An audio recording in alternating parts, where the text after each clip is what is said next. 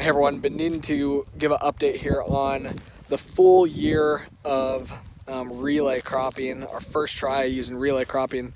Um, so I wanted to explain the whole system on exactly what we did. So um, basically this came about because we've been using cover crops now for the last couple of years and cover crops are continuing to grow, but seed can be an issue in terms of availability and price of seed. So I was like, well, Dad, why don't we try to harvest some of this? He was like, okay, that's not a bad idea. Um, but the economics don't fully work out just to be able to raise rye or wheat or oats or something like that in southeast Iowa because the ground um, it's too expensive. So we wanted to relay crop it. So we started out fall last year. Uh, so fall of 2018, we planted wheat across the entire farm. So the whole farm, clear back behind us, got a couple guests here today the whole farm um, planted wheat, but then in this 10 acre spot here where we got some pretty good hills and uh, some crappier soil, we upped the rate of wheat to um, about a bushel. So that's planted October 2018. Spring of 2019 here, we planted beans directly into this cover crop, into the wheat on April 25th. All we did then was come back on July 5th and we harvested the wheat. There was part of it that we were going to actually plant early wheat in uh, on April 25th, come back maybe three weeks later in May and try to plant some other strips of wheat or of soybeans into the wheat. Um, but because of too much rain in May, that one never actually happened. So we ended up double cropping it. So nothing happened. Um, then all through the month of May or in June.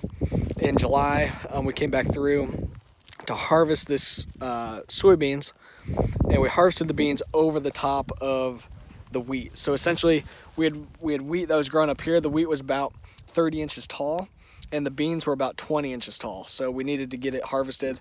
Uh, so on July 5th, we came through and harvested the wheat over the top of the beans, and uh, and then left the beans there. We ran over some of them for sure, um, but overall we ended up with about 30 bushel wheat across this whole area, 30 bushel per acre. So not great, but there was literally zero inputs into that wheat. Now looking back, we probably could have used a little bit of fungicide, a little bit of, of some nitrogen and sulfur to get a little bit more yield, probably would have paid off. Um, and the fungicide to keep a little bit better quality everything was standing fine, but germination is probably not quite perfect. Um, then we planted the beans um, behind where we were not able to do the late planted relay crop. So those beans got planted on July 5th, which is super, super late for planted beans around here. Um, we did run a pass a herbicide around the edges of this field right after we harvested um, but just around the outside with a quick shot of Liberty. And that was all that this field had on it. And that's it. The Then we came back in October um, and harvested the soybeans that were in the initial relay crop. And those beans did well. They did 44 bushel beans. So we had harvested 30 bushel wheat and 44 bushel beans. Um, the double crop beans were still really green when we got our first frost they were super late and uh, they didn't get harvested until pretty late and they didn't do all that well. I think they did like 20 bushel, um, better than nothing. But overall, all we had going into this field was plant wheat, plant soybeans, harvest wheat, plant uh, or a little shot of herbicide, and then harvest the beans. That's it. That's it. So, and at the end of the day, 44 bushel beans, 30 bushel wheat, um, with not very much expense going into it, was pretty profitable. And you can see that we've got some uh, wheat that's growing out here that looks pretty good. Um, and this is 100% volunteer wheat. We didn't end up planting any of this. So now going forward, we definitely think that this is a good option um, to continue to expand.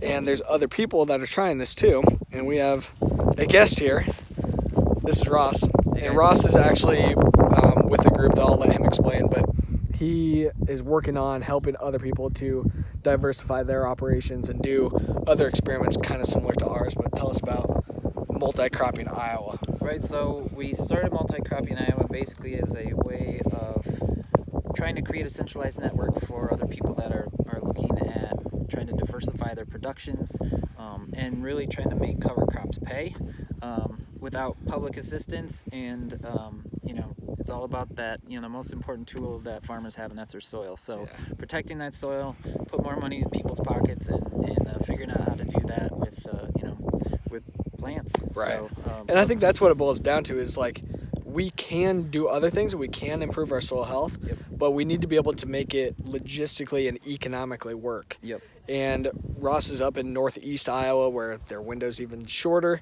uh, than ours down here in southeast Iowa. So it's a little bit different area. So if we can figure out how to do some relay cropping or more interseeded cropping, be able to open up that window to diversify, keep our ground covered, and implement the principles of soil health. Uh, so um, definitely want to continue the conversation on this. We're going to relay crop some rye next year. We've got barley planted for next year. Uh, we got to go check that out here too yeah and uh, and we'll we'll continue to experiment here. Um, but you can reach out uh, to Ross to at Multicropping Iowa for other info on some of their programs, um, and leave some comments too. We can get you connected that way.